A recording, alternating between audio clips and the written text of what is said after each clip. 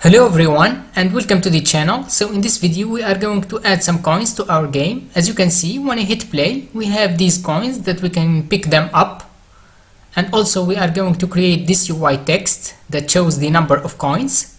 So without further ado let's get started. First let's start by creating the coin in the hierarchy right click 3d object and let's choose a cylinder. Then let's reset the transform. And let's move the coin a little bit. So let's go to the scene view and see how it looks like. I'm going to change the Y scale to 0.1 and also I'm going to move it along the Z axis so that we can see it over here and let's change the rotation around the Z axis to 90 degrees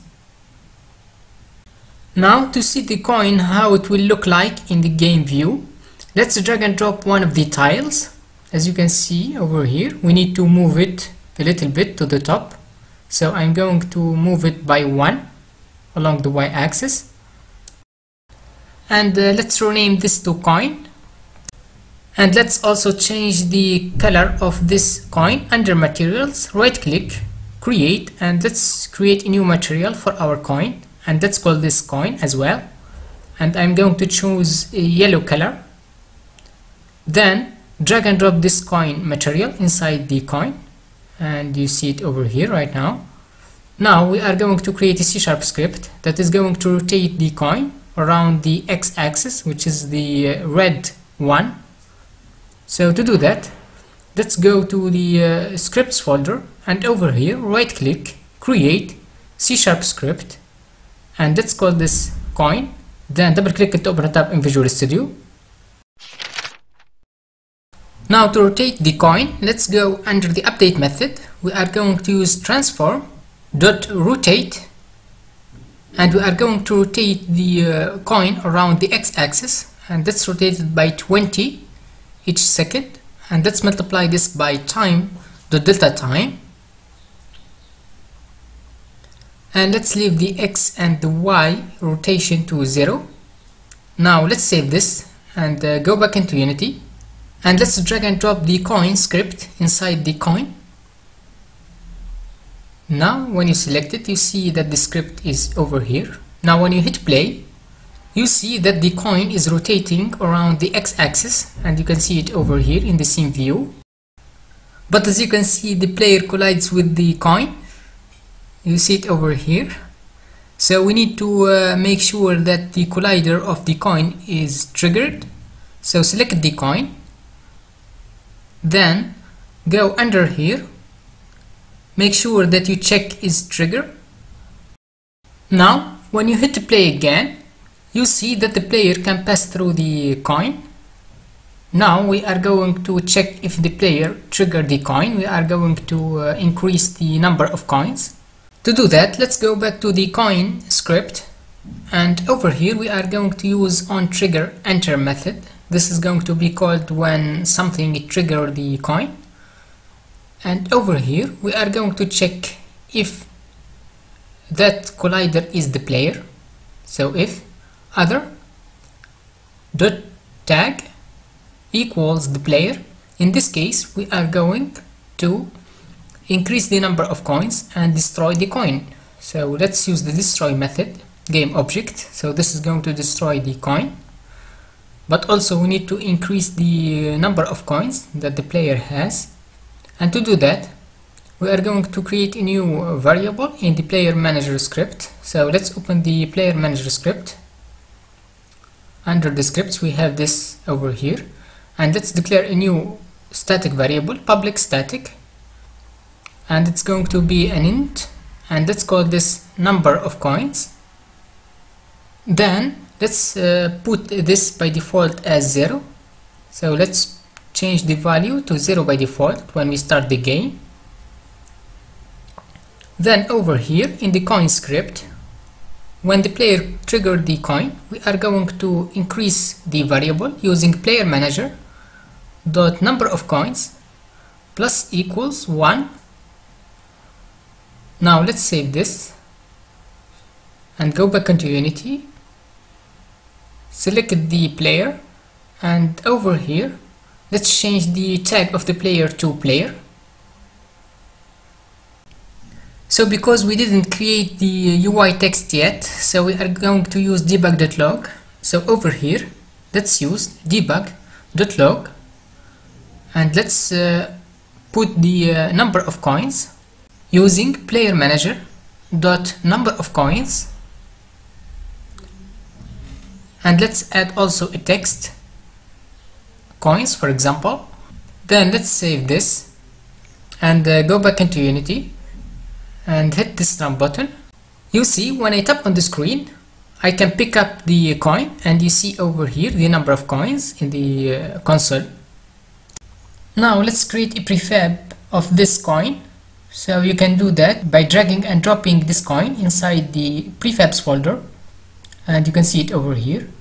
Now let's delete this. Now we need to add the coin inside the game so we need to add it to the tiles. So I'm going to add the coins. Double click the first tile to open it up and over here let's drag and drop the coin inside the first tile. So I'm going to uh, duplicate this also. You can put any number of coins you want inside each tile. So let's change the, posi uh, the position of this one. And also let's create another one and put it over there. So I'm going to do that for all the tiles. You can do that you know, on your own. As you can see when I hit play you see that we have the first tile with uh, some coins and you can pick them up and here you can see the number of coins. So I'm going to do that for all the tiles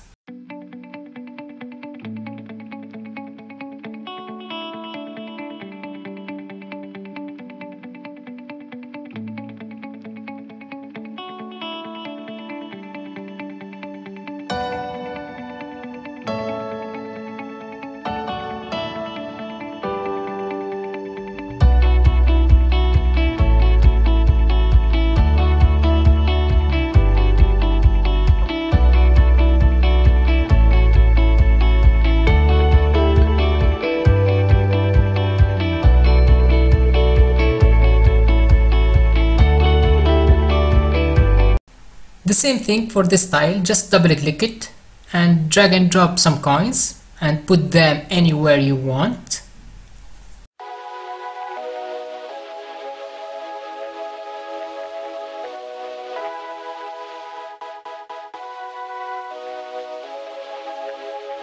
Now when you hit play you see that we have many coins inside the game and we can pick them up as you can see right now and you can see here the number of coins.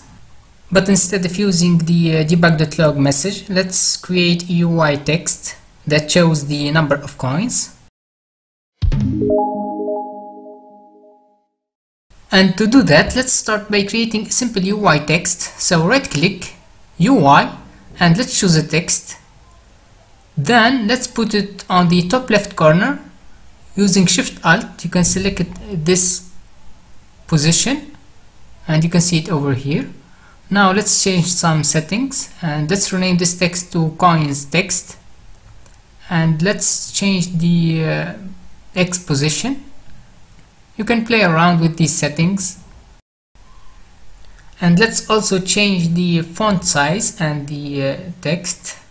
So let's change this to coins 0 so that we can see how the text looks like and let's change the font size to 25